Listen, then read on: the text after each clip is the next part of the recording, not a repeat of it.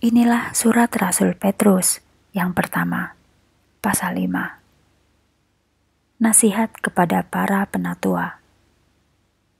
Dan sekarang sepatah dua patah kata kepada penatua-penatua gereja.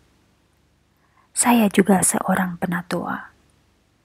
Dengan mata kepala sendiri saya melihat Kristus menemui ajal di kayu salib. Saya juga akan turut merasakan kemuliaan dan kehormatannya pada waktu ia datang lagi. Teman-teman penatua, inilah permohonan saya. Peliharalah kawanan domba Allah. Jagailah mereka dengan rela hati, bukan dengan bersungut-sungut, bukan pula karena hasil yang akan saudara peroleh, melainkan karena saudara ingin melayani Tuhan. Janganlah bertindak sewenang-wenang, melainkan pimpinlah mereka dengan memberi teladan yang baik. Maka, apabila Gembala Agung datang, pahala yang akan saudara peroleh ialah bagian di dalam kehormatan dan kemuliaannya yang kekal.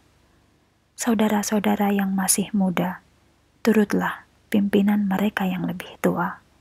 Hendaknya saudara saling melayani dengan perasaan rendah hati sebab Allah mengaruniakan berkat-berkat khusus kepada orang yang rendah hati, tetapi Ia menentang orang yang angkuh. Apabila saudara mau merendahkan diri di bawah tangan Allah yang Maha Kuasa, maka pada waktunya Ia akan meninggikan saudara.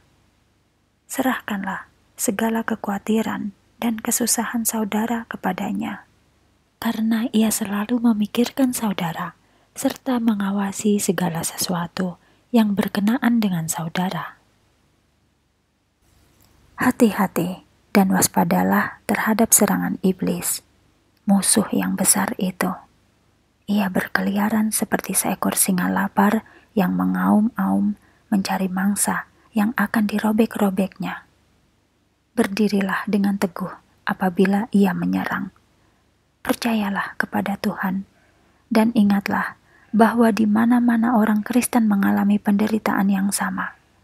Sesudah saudara menderita sesaat lamanya, Allah kita yang penuh kebaikan akan memberikan kemuliaannya yang kekal kepada saudara melalui Kristus. Ia sendiri akan datang dan mengangkat saudara, menegakkan serta menjadikan saudara lebih kuat daripada sebelumnya.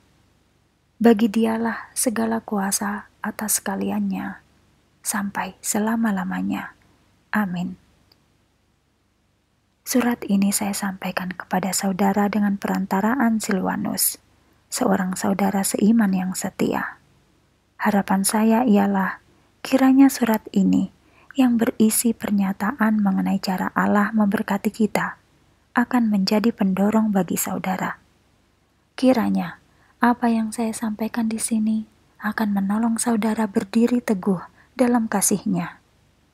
Istri saya di Roma, saudara perempuan saudara sekalian di dalam Tuhan, mengirimkan salam kepada saudara.